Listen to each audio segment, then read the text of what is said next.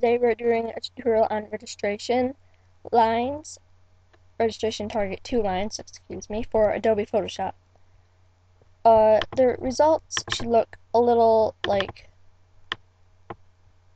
this.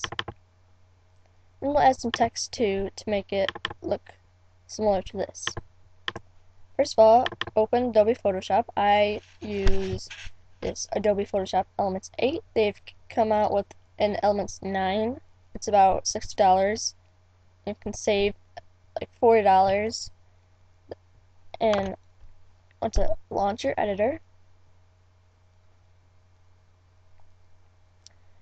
Go to File, go to New, Blank File, make sure the width is 1900 pixels, the height is 1200 pixels, and the resolution is 72 pixels slash inch.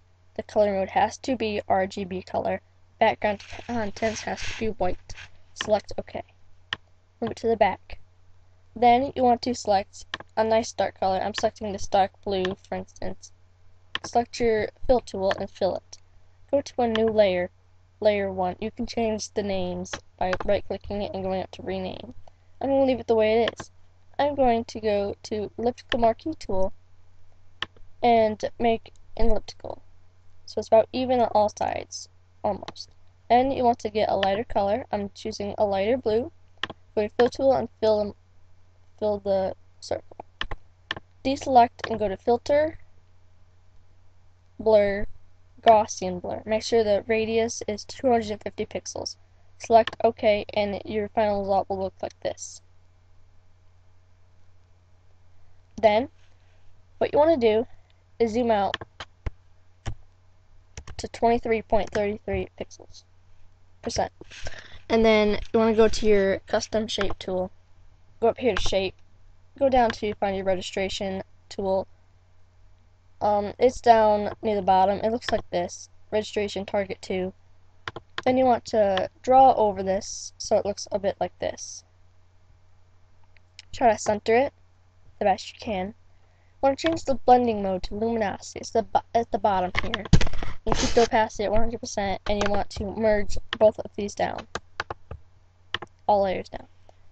You can zoom back in to 33%.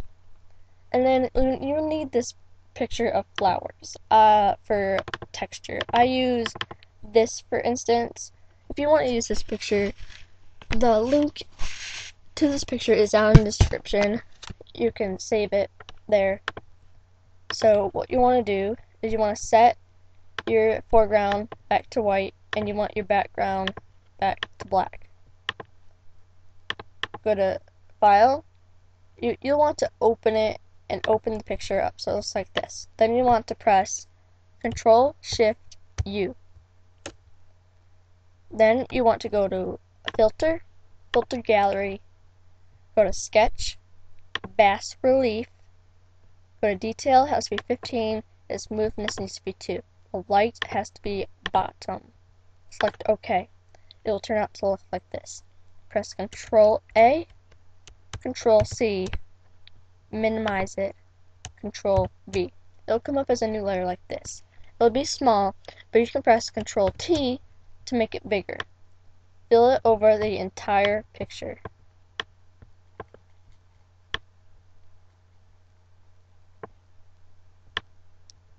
After you're done with that, you can press the little green check, and it will have to cover it like this. Then what you want to do is go to, for this layer, go to the blending options, then go to overlay. It'll look like this. Yes, it's a little hard light, so you want to change the opacity to 23%. And it should look like that.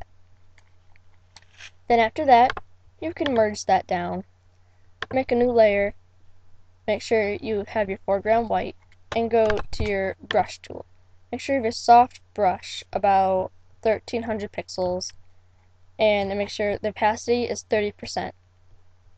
Then you can click the middle to get just about how you want it. Make the blending mode overlay, and it will make it glow. You can change the opacity. I'm going to change it to 60%. And then after this, you're pretty much done by this point. you've made your whatever you want to call it, your registration target tool, lines, um, your lines, your, you know, whatever you want to call it. So you can merge this down. And then there's another tutorial about how you can download fonts. Uh, the link is in the description. And anyway, you want to get a font, unless you can find a font that you like on here too. Um, you want to go to the text tool, and then go up here, and I'm going to use a font called Bloodlight. I downloaded this from a site, dafont.com or something like that. The link is in the description to that. Um, you want to select your font. You can pick a color. I'm just going to pick black for now. And then click on your picture and start typing. Let's see. Um, you can do this. Just type in what you want, and you can make it bigger. I'm gonna make this about mm,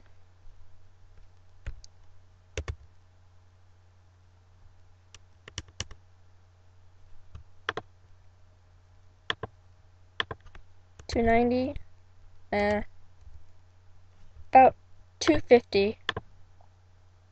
And you move it around.